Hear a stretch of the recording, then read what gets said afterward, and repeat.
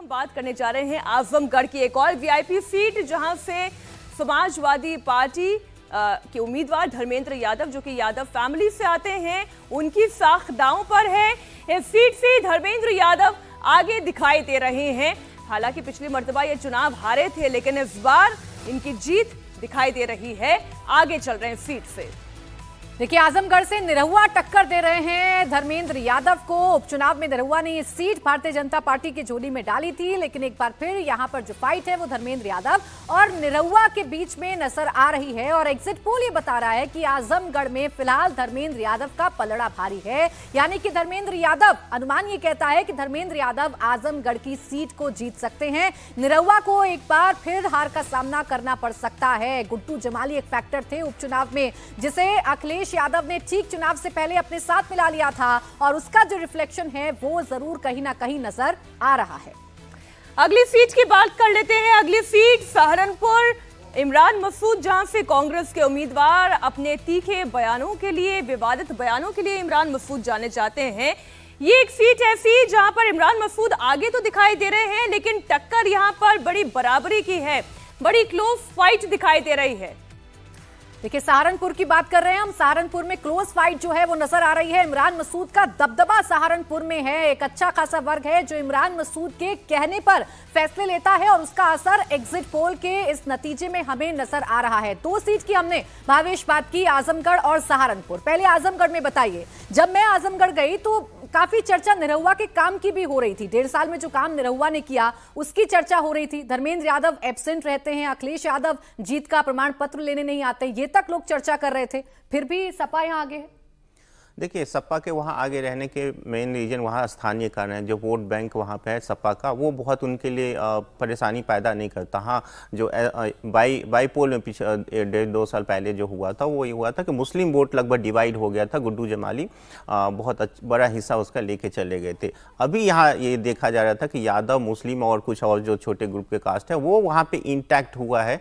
तो बहुत ज़्यादा चैलेंजेस है नहीं वहाँ पे अ, सपा के लिए वहाँ पे। जहाँ तक सहारनपुर की बात है देखिए सहारनपुर में जैसे आपने कहा कि अपने बयानों की वजह से इमरान मसूद बहुत चर्चा में रहते। एक और उनकी पहचान है कि पिछले पाँच साल उन्होंने चार पाँच पार्टियाँ चेंज किया। पहले से कांग्रेस में थे फिर सपा में चले गए फिर बसपा में चले गए फिर कांग्रेस में आके पुनर्मुस्को बबर उनकी बहुत अच्छी छवि है नहीं वहाँ पर लेकिन चूँकि मुस्लिम आबादी बहुत ज़्यादा है वहाँ पे जो और जो एंटी बीजेपी ग्रुप है वो बहुत ज़्यादा है वहाँ पे। शुरू में लग रहा था कि बसपा का कैंडिडेट एक मुस्लिम कैंडिडेट था उनको कुछ वोट मिलेंगे तो वो एक डिवाइड होगा जिसकी वजह से बीजेपी वहाँ पे निकाल सकती। वो होता हुआ नहीं दिख रहा है जिसकी वजह से वहाँ पे बीजेपी अभी भी फाइट में ऐसा मैं नहीं कह, कह सकता कि नहीं आप, आप तो दे रहे हैं क्लोज हाँ, फाइट है। क्लोज फाइट है लेकिन पॉसिबिलिटी बहुत कम है कि बीजेपी वो सीट निकाल पाए। दो और सीट जो हमने ब्रेक से पहले डिस्कस की थी उसमें से एक सीट थी कैराना जहाँ से इकरा हसन चुनावी मैदान में है। आपने उन्हें पीछे दिखाया है। क्यों? क्या कारण है? देखिए इकरा हसन जिस फैमिली से आती है उस फैमिली का अ, या उनके आसपास के लोगों का बहुत रोल था जब दंगा हुआ था 2012-13 में अ, यूपी में हुआ था। और तो इसके वजह से उनकी जो छवि है, उनको जो हिंदू मेजोरिटी जो है, वहाँ पे उनको वोट मिलना बहुत ही मुश्किल है।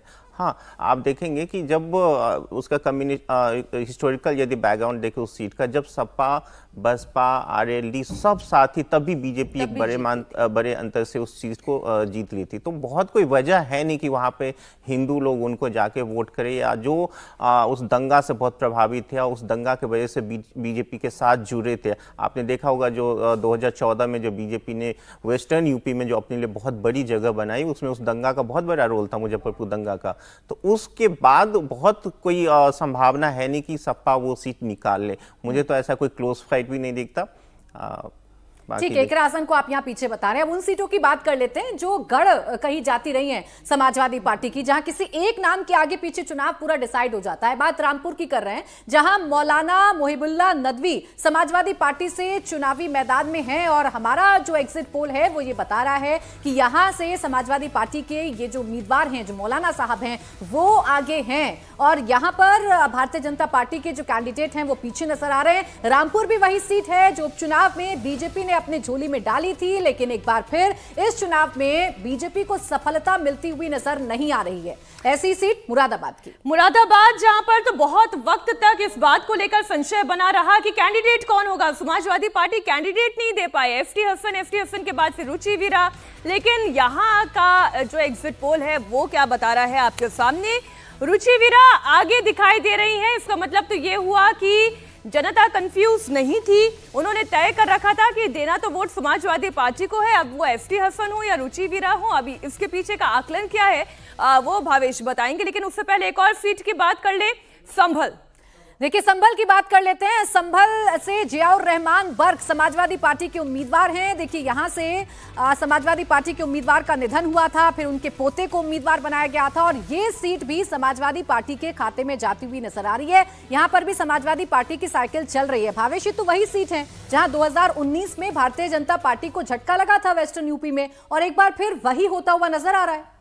बिल्कुल आप सही कह रहे हैं। जो सपा, बसपा और जो आरएलडी का पिछली बार अलायंस था, उन्होंने उस अपने सोशल ग्रुप के जो एक साथ जुड़ने की वजह से जिन सीटों पर प्रभाव डाला गया था, उसमें रामपुर उसके बाद मुरादाबाद, ये सब सीटें थी उसमें। उसके बाद जब बसपा छोड़ के गई तो बसपा का एक बहुत बड़ा हिस्सा अभी सपा के पास है। वही वोट और चूँकि वहाँ पे जिन सीटों के हम लोग डिस्कशन करें उसमें एक मुस्लिम मेजोरिटी बहुत ज़्यादा है लगभग 50 परसेंट के आसपास है तो बीजेपी उस चुनाव उस सीट को तभी जीत सकते है जब वहाँ पे मुस्लिम वोटों में डिवाइड हो जो कि नहीं दिख रहा है। इन ब्लॉक मुस्लिम वोट जो अलायंस को गया है वहाँ पे इंडिया अलायंस को गया है। जहाँ तक मुरादाबाद की बात है मुरादाबाद में अभी भी थोड़ा सा चांस है कि बीजेपी वो सीटें जीत ली क्योंकि उनके कैंडिडेट जो जिस तरह उन्होंने कैंडिडेट को बदला दो तीन बार बिल्कुल। तो, तो हाँ, प्रचार भी नहीं करूँगा। बिल्कुल तो एस टी हसन के वजह से शायद कुछ मुस्लिम वोट वहाँ पे डेविएट ज़रूर हुए हैं। तो एक संभावना है कि वो मुरादाबाद सीट बीजेपी निकाले। हालाँकि बहुत क्लोज है उसको उतना ज़्यादा भी उस फैक्टर को देखा नहीं जा सकता। लेकिन चूँकि इन सब सीटों की बनावट वैसी है मुस्लिम मेजोरिटी एक, एक सीट जो पिछली मरतबा रह गई थी गाजीपुर की सीट। गाजीपुर की सीट आपने अफजाल अंसारी को आगे दिखाया है। क्या पारसनाथ राय कोई टक्कर नहीं दे पाए? देखिए हमारे सर्वे में आ, जिस तरह का जो सोशल इक्वेशन दिख रहा था आपने देखा होगा 2019 में भी आ, मनोज मनोज सिन्हा जब वहाँ से चुनाव लड़ रहे थे तो वहाँ भी देखिए पहले किसी ज़माना में डिलिमिटेशन से पहले वो आ, इस तरह का था भूमियार बहुल सीट माना जाता था। डिलिमिटेशन के बाद वैसा है नहीं वहाँ पे जो एक सोशल इक्वेशन है मुस्लिम बाकी मुस्लिम या, यादव इनका एक अच्छा खासा मेजोरिटी है वहाँ पे। तो मनोज सिन्हा जब दो हज़ार उन्नीस में चुनाव लड़े थे उसी टाइम ये प्रिडिक्ट किया गया हम लोगों ने प्रिडिक्ट किया था मनोज सिन्हा खुद भी चुनाव हार सकते हैं वहाँ पे। पारसनाथ आए नए कैंडिडेट को ज़रूर लेके आए लेकिन उनकी जो जनता में कोई इनको बहुत पहले से कोई जानता नहीं था। संगठन के आदमी है चुनाव लड़ना जानते चुनाव जीतना जान जिता सकते हैं संगठन के लेकिन उनकी ऐसी छवि है नहीं कि वो किसी ऐसे आ, आ, को टक्कर दे सके। अब बाहुबली टाइप के लोगों को जिनका अपना एक आधार होता है खासकर जिस कम्युनिटी से आते हैं तो। ठीक है, गाजीपुर के बाद देखिए, अभी वेस्टर्न यूपी की सीटों की हम बात कर रहे हैं और उस सीट की बात करते हैं जहाँ से ठाकुर नाराज़ हैं। ऐसा एक नैरेटिव चलाने की कोशिश की गई, वो सीट है मुजफ्फरनगर की, जहाँ संजीव बाल्यान के लिए अपनी ही पार्टी के एक नेता संगीत सोम ने मुश्किलें खड़ी करने की कोशिश की गई। हालाँकि इन दोनों की दोस्ती कराई गई और फिर एक नैरेटिव चलाने के लिए कोशिश की गई कि सब कुछ ठीक है। यहाँ संजीव बाल्यान फ़िलहाल बीजेपी के उम्मीदवार हैं और वो इस सीट को निकालते हुए हमारे इस एग्जिट पोल में नज़र आ रहे हैं। अगली एक और सीट की बात कर लें, इस वक्त हम नोएडा में खड़े हैं, बगली में गाजियाबाद है, यहाँ से बीजेपी के नेता अतुल गर्ग और गाजियाबाद ऐसी कॉन्स्टिट्यूएंसी, जहाँ से वीके सिंह को बिठाया गया, नया चेहरा दिया गया और ये भी वो चेहरा है जिसे जिसे लेकर लोगों के अंदर कुछ लोकप्रियता और पसंद दिखाई थी, गाजियाबाद। गाजियाबाद और इसके अलावा एक और जिस सीट का ज़िक्र अभी प्राची ने किया। भावेश। गाजियाबाद को लेके तो आ, मेरे ख्याल से कोई सर्वे करने की ज़रूरत भी नहीं है कि वहाँ पे बीजेपी कैसे आ, क्यों नहीं जीत सकती है कोई बहुत बड़ी वजह है पिछला मैंडेट भी बहुत बड़ा था। हाँ बिल्कुल गाजियाबाद में जनरल वी के सिंह थे वो भी बहुत अच्छा काम करे सबसे बड़ी मार्जिन से पिछली बार चुनाव जीते भी थे यूपी में। तो बहुत कोई बड़ी वजह थी नहीं जहाँ तक हम लोग मुजफ्फरनगर की बात करते देखिए आप पिछले दो तीन चुनाव से देखेंगे ना एक नया नैरेटिव खड़ा करने की कोशिश किया जाता है कि कभी जाट नाराज़ है कभी ठाकुर नाराज़ है कभी बताया जाता था कि जब 2017 विधानसभा में यूपी में चुनाव होता था तो कहा जाता था कि शीला दीक्षित को सीएम प्रोजेक्ट किया गया था कांग्रेस की तरफ़ से शुरुआती दौर में। तो कहा गया था कि ब्राह्मण वोट बीजेपी से टूट के कांग्रेस के साथ जुड़ जाएँगे। ये सब नैरेटिव ना बहुत ज़्यादा ग्राउंड पे वर्क नहीं करती है। जनरली आप देखेंगे ठाकुर वगैरह जो वेस्टर्न यूपी में जो जिसकी चर्चा हो रही है वो सभी लोग दंगा से प्रभावित थे। वो लोग बीजेपी को पहले भी दंगा से पहले भी बीजेपी को वोट करते आए थे। तो उसमें कोई बहुत बड़ी हाँ जो सोशल मीडिया पे या कुछ दबंग टाइप के लोग हैं जिनका अपना पॉलिटिकल इंक्लाइनेशन होता है किसी पर्टिकुलर ग्रुप के साथ वो लोग ज़रूर चिल्लाते हैं कि जो भी मुद्दा हुआ था राजकोट से जो शुरू हुआ था उसका चुनाव में बहुत ज़्यादा प्रभाव कहीं नहीं देखा गया। राजस्थान को लेकर चर्चा ज़रूर होती है कि राजस्थान में इसका प्रभाव देखा गया लेकिन जिन पर्टिकुलर सीट की बात होती है वो पर्टिकुलर सीट बीजेपी स्थानीय कारण से आ रही है वो राजपूत उसकी वजह से नहीं। अच्छा ठीक है, गाजियाबाद की बात हमने कर ली, अब गाजियाबाद की बात गौतम बुद्ध नगर की बात कर लेते हैं, यानी कि नोएडा की बात कर लेते हैं। यहाँ महेश शर्मा को एक बार फिर से टिकट दिया जाएगा या नहीं दिया जाएगा, इसको लेकर काफ़ी अटकलें लगाई गई थी। लेकिन बीजेपी ने महेश शर्मा को उम्मीदवार बनाया और इस सीट पर महेश शर्मा जीतते हुए नज़र आ रहे हैं, यानी कि बीजेपी की सीट, जो कि सेफ़ सीट कही, सेफ़ सीट कही जाती है, वही सेफ़ सीट बनी हुई नज़र भी आ रही है। अगली सीट, सबसे high profile seat Uttar Pradesh की कुछ सीटों की अगर बात करें तो उनमें से एक है अमेठी, जहाँ से केंद्रीय मंत्री स्मृति ईरानी ने चुनाव लड़ा, ज़बरदस्त चुनाव लड़ा। एक हवा ये बनाई गई कि नहीं, स्मृति ईरानी के लिए कुछ नाराज़गी ग्राउंड पर दिखाई दे रही है। इस बार तो मुश्किल होगा, लेकिन हमारे एग्जिट पोल में स्मृति ईरानी आगे दिखाई दे रही हैं। रायबरेली की भी बात कर लें, प्राची। बिल्कुल अमेठी के बाद रायबरेली की भी बात कर लेते हैं। यहाँ से राहुल गांधी को मैदान में उतारा गया। खुद सोनिया गांधी ने कहा रायबरेली को मैं अपना बेटा सौंप रही हूँ। और रायबरेली एक बार फिर से कांग्रेस के साथ इंटैक्ट नज़र आ रही है। यानी कि रायबरेली की सीट राहुल गांधी जीत रहे हैं हमारे एग्जिट पोल के मुताबिक। ऐसा ही अनुमान लगाया भी जा रहा था। अमेठी में नाराज़गी की बातें भावेश सामने आई। लेकिन फिर भी कि रायबरेली को बेटा सौंपा और बेटे को रायबरेली की जनता ने खूब पोषण दिया। देखिए रायबरेली की बात जहाँ तक है जब हम लोग ओपिनियन पोल करते थे मार्च अप्रैल के महीने में तो दिख रहा था कि बीजेपी ये सीट निकाल सकते हैं। पहली बार ये सीट निकाल सकते हैं। लेकिन बीजेपी ने कैंडिडेट सिलेक्शन में बहुत जब देखिए जब आप किसी ऐसे सीटों पे चुनाव लड़ते हैं जहाँ पे आपके सोशल इक्वेशन आपके फेवर में ना हो या वहाँ पे कोई बहुत बहुत बड़े कैंडिडेट बहुत मतलब किसी का सेफ़ सीट रहा, उस पर आप जब चुनाव लड़ते तो आपको कैंडिडेट सेलेक्शन बहुत पहले करना चाहिए था अच्छा कैंडिडेट देना चाहिए था। आप दिनेश प्रताप सिंह को टिकट दे, यदि देना ही था तो दो तीन महीने पहले दे देते, जैसे यूपी में आपने मार्च के महीने में अनाउंस कर दिया था। वहाँ पे देखिए जो उस सीट की रायबरेली की बनाते हैं तीस चौंतीस परसेंट के आसपास वहाँ पे दलित है। हम्म। शुरू में हम लोग कहते हैं किसी दलित को यदि बीजेपी वहाँ पे कैंडिडेट उनके जो डिस्ट्रिक्ट प्रेसिडेंट है वो दलित आते हैं। और वहीं से एक शुरू हुआ था कि बीजेपी वहाँ जीत सकती है क्योंकि दलितों में एक तरह का इनकला दिख रहा था कि वो बीजेपी को वोट करना चाहते हैं यदि बीजेपी उस तरह का कैंडिडेट देती तो। लेकिन धीरे धीरे हुआ कि बहुत उन्होंने लेट कैंडिडेट दिया और फिर से उन्होंने रिपीट कैंडिडेट दिया जिसकी बहुत ज़्यादा छवि अच्छी है नहीं उनकी। जानबूझ के वॉकओवर टाइप्स दे दिया। माना जा सकता है वो कि वॉक ओवर देना कहिए या कुछ, आप कुछ सोच के उन्होंने किया होगा। क्या पता आगे का कुछ और प्लान हो उनका, मुझे नहीं पता। एक सीट और, मैनपुरी, जहाँ से समाजवादी पार्टी के उम्मीदवार अखिलेश यादव की धर्म पत्नी डिम्पल यादव ने चुनाव लड़ा। मैनपुरी सीट डिम्पल यादव जीत सकती हैं। ये समाजवादी पार्टी का गढ़ है, इसमें कोई दो राय नहीं। और अगर यादव फैमिली की बात करें तो चुनिंदा यादव जिन्हें टिकट दिया गया, वो परिवार के थे। आजमगढ़ हो गया। इधर आप देख लें, मैनपुरी की बात कर लें, कन्नौज की बात करें, जहाँ से यादव फैमिली चुनाव लड़ रही है। कन्नौज की बात कर लें, अखिलेश यादव जहाँ से चुनाव लड़ रहे हैं। बिल्कुल, देखिए, कन्नौज की बात करें, सुब्रत पाठक ने यहीं से हराया था डिंपल यादव को। अखिलेश यादव यहाँ से मैदान में उतरे और उसका असर होता हुआ नज़र आ रहा है। कन्नौज से अखिलेश यादव जीत का परचम लहरा सकते हैं, ऐसा एग्जिट पोल बताता हुआ नज़र आ रहा है। सुब्रत पाठक की जो इमेज है, वो कहीं ना कहीं, अब आप कह सकते हैं, अखिलेश यादव के सामने ज़रूर कमज़ोर पड़ रही है। हमारे साथ केंद्रीय मंत्री इस वक्त जुड़ गए हैं। हरदीप पुरी जी उनका रुख हम कर लेते हैं। हरदीप जी बहुत बहुत स्वागत है आपका इंडिया टीवी पर। एग्जिट पोल तो बता रहा है कि जो आपने भविष्यवाणी की थी आपके नेताओं ने चार जून को वही होगा। आप क्या कह रहे हैं? क्या होगा चार जून को?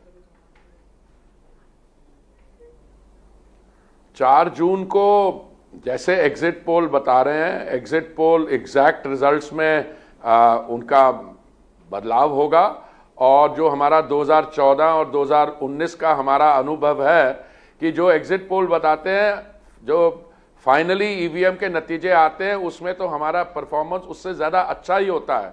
और मुझे पूरी उम्मीद है, और जो हमने विकास का काम किया है, इसको लेके हमारा जो भारतीय जनता पार्टी का अपना फिगर है, वो 250-55 के आसपास होगा, और एनडीए अलाइज को मिला के हम 400 के करीब होंगे 400 पार भी कर सकते हैं, और जो बाकी दल हैं जो हमें अपनी सपोर्ट देते हैं उसको मिला के हम 400 से बहुत अच्छे आगे होंगे।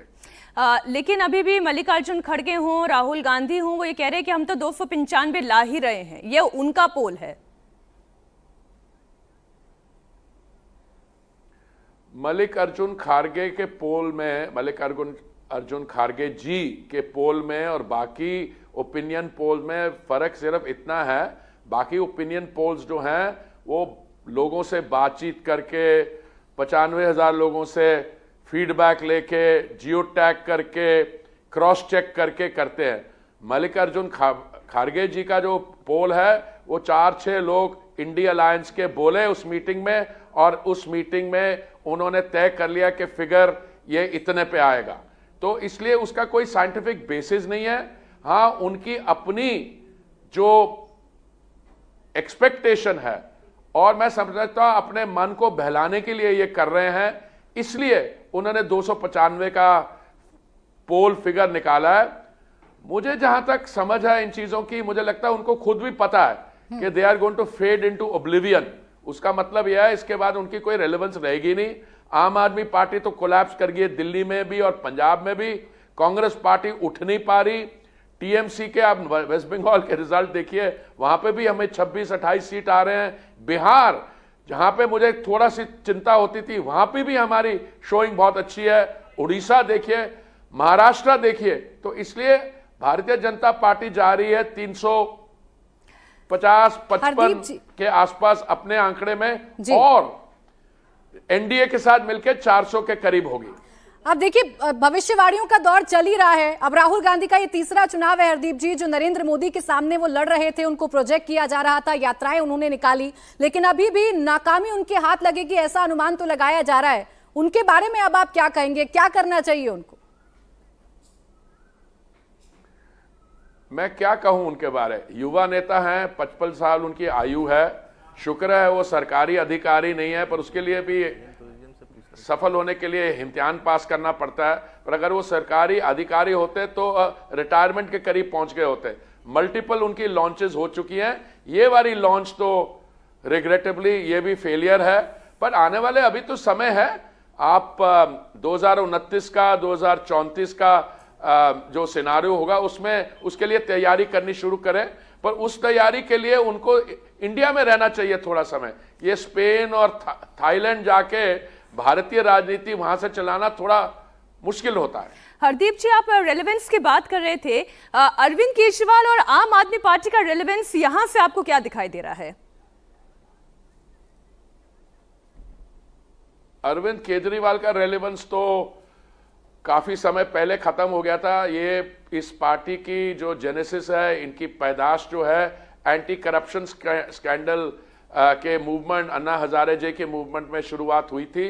और उस तो 2013 से लेकर आज तक they have become the most corrupt party ये स्टार्टअप है but they are the most corrupt party अगर आप लिकर स्कैम देखिए, दिल्ली जल बोर्ड में जो हुआ है, बाकी इन्होंने जो भी किया, जहाँ पे इन्होंने हाथ डाला there is been the stench of corruption तो अभी दिल्ली में तो उनका सफाया हो गया सात सीट में, और जो पंजाब के फिगर्स आ रहे हैं, वहाँ पे बीजेपी का वोट शेयर जो है नौ परसेंट से 26 परसेंट पहुँच गया और आम आदमी पार्टी की स्टीप डिक्लाइन है। तो मैं समझता हूँ कि ये जो स्टार्टअप का एक्सपेरिमेंट है इसको अब इनको अपने आप को री करना पड़ेगा। पंजाब की बात मैं आपसे करना चाह रही थी। जहाँ पे इनको स्टेट हॉस्पिटैलिटी मिलती मिल रही है हम्म, वहाँ पे समय भी मिलेगा सोच विचार करने का। मैं पंजाब की बात आपसे करना चाह रही थी। पंजाब से बहुत उम्मीदें थी पूरी ताकत आप लोगों ने भी झोंकी लेकिन एग्जिट पोल में वो नतीजों में रिफ्लेक्ट होता हुआ नज़र आ नहीं रहा है उतना अच्छा करती हुई नज़र आ नहीं रही है सीटों के लिहाज से अगर देखें हरदीप जी तो। नहीं जी, मैं तो नहीं मानता हूँ अगर पंजाब में पहले तीन सीट लड़ते लड़ते थे, दो आती थी, इस समय जो आंकड़े मैं देख रहा हूँ, एक ओपिनियन पोल चार कर रहा है, दो में हम सेकंड पोजीशन पे हैं, पर मैं, अगर हमारी पाँच छह सीटें आ गई तेरह में से, कहा हमारी दो आउट ऑफ़ थर्टीन और छह आउट ऑफ़ थर्टीन इसमें तो दिन रात का फ़र्क है। सबसे बड़ा झटका जो इस बार किसी नेता को लगा है तो वो पश्चिम बंगाल में ममता बनर्जी को लग रहा है। एग्जिट पोल के लिहाज से बीजेपी नंबर वन पार्टी दिखाई दे रही है पश्चिम बंगाल में। इस काफ़ी समय से लग रहा था, पर एग्जिट पोल इस चीज़ को वेस्ट बंगाल के बारे बिल्कुल प्रूव करते हैं। अब देखिए कई नेता हैं जो इस एग्जिट पोल पर भी अलग अलग तरीके की टिप्पणी कर रहे हैं। तेजस्वी यादव को यकीन नहीं हो रहा है, जयराम रमेश कह रहे हैं इस पर ध्यान मत दीजिए। ये तो सरकारी प्रोपोगेंडा है, हम तो दो सीट हासिल ही करेंगे। इधर आरजेडी की तरफ़ से भी रिएक्ट किया जा रहा है कि हम तो सरकार बनाएँगे ही बनाएँगे, एजेंडा तक तय कर लिया है नई नवेली सरकार का। नहीं, वो तो उनको बिल्कुल आपको खुली छूट देनी चाहिए उनको। एजेंडा भी सेट करो और पाँच साल में क्या क्या करना, वो भी आज और कल में कर लो, क्योंकि परसों तो रियलिटी हकीकत सामने आ जाएगी। बहुत शुक्रिया हरदीप पुरी जी, इंडिया टीवी को समय देने के लिए। एग्जिट पोल का आंकड़ा इस वक्त देश की जनता के सामने।